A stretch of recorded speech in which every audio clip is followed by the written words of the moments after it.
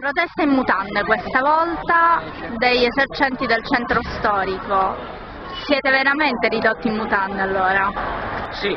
adesso basta. Eh, siamo stati presi in giro per anni, eh, ci ha tolto tutti i nostri diritti, il sindaco e la sua amministrazione ci hanno affamato, eh, ci hanno tolto degli orari eh, dove noi possiamo lavorare, ci hanno tolto un'ora e mezza al giorno, e ci hanno ridotto il suolo pubblico, non ci hanno ascoltato nei parcheggi che noi volevamo e desideravamo avere in piazza Carlalberto, in piazza Alcalà, dalle 20 di sera fino alle 2 e mezza, presi in giro per tantissimi anni e alla fine invece vigili a fare verbali e a fare verbali, città in mano ai parcheggiatori abusivi. Una città che non può essere legale, una città dove noi proponiamo i parcheggi a costo zero e il sindaco spende milioni e milioni di euro per fare una BRT che ha causato un morto e centinaia di invalidi e di feriti poi uno suolo pubblico che non si sa perché ce lo tolgono, perché ce lo riducono, dove noi chiediamo sempre i regolamenti, quale ordinanza sia, cose che non esistono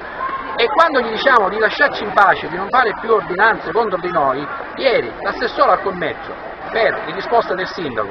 davanti a una delegazione di 50 esercenti, quando noi abbiamo chiesto di finirla con queste cose di andare a giocare con gli abusivi che occupano tutte le piazze tutte le strade di Catania, con somministrazione di cibi, bevande e quant'altro e con tavoli e sedie fino alle 6 di mattino, che non hanno nessuna autorizzazione, ci viene risposto che gli abusivi sono un fenomeno sociale e i nostri figli che cosa sono? Sindaco.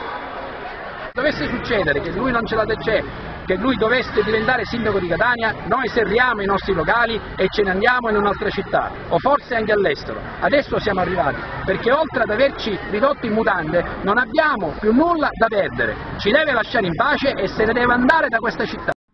veramente esasperati perché fino ad oggi le istituzioni pubbliche che dovevano aiutarci, l'assessorato attività produttive, l'assessorato per la delega al centro storico non hanno fatto altro che aggravare la situazione. Cioè nel corso di questi anni sono state messe tutta una serie di ordinanze volte a impoverire le nostre attività e oggi molti di noi non riescono a pagare l'affitto, non riescono a pagare i dipendenti e siamo molti sull'orlo del fallimento. A parte tutti i giovani e professionisti che abbiamo dovuto licenziare dai nostri locali perché la Movida è stata totalmente abbandonata, è stato un teatro di campagna elettorale per chiedere ordine, per chiedere legalità, basta fare 10 metri verso la stazione, verso Viale Africa e, e si può vedere tutto quello che c'è, che sicuramente non sono attività di somministrazione che possono avere tavoli e sedie. Adesso finiamola, lo Stato deve rispondere, non può sottrarsi alla tutela del commerciante che paga le tasse, che paga la spazzatura e che paga il suolo pubblico. Soprattutto noi chiediamo di sapere pubblicamente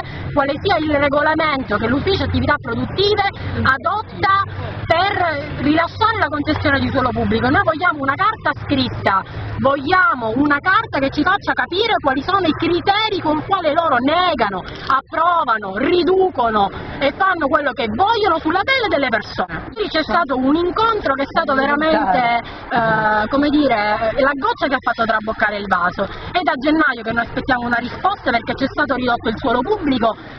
abbiamo chiesto i parametri in base al quale ci sono stati ridotti, c'è stato genericamente indicato l'articolo 20 del codice della strada che non riguarda la zona ZTL perché è una zona a traffico limitato, l'articolo 20 del codice della strada era in vigore anche l'anno scorso, quindi mi chiedo sulla base di quali leggi oggi sono stati ridotti questi parametri e soprattutto una volta ancora chiediamo legalità, chiediamo tutela, siamo in un'Italia che ha bisogno di lavoro e loro cosa fanno? Loro ci riducono il suolo pubblico, ci dicono che gli abusivi non li possono toccare e questa è la più grande vergogna delle istituzioni. Lo Stato non può sottrarsi, è un suo dovere.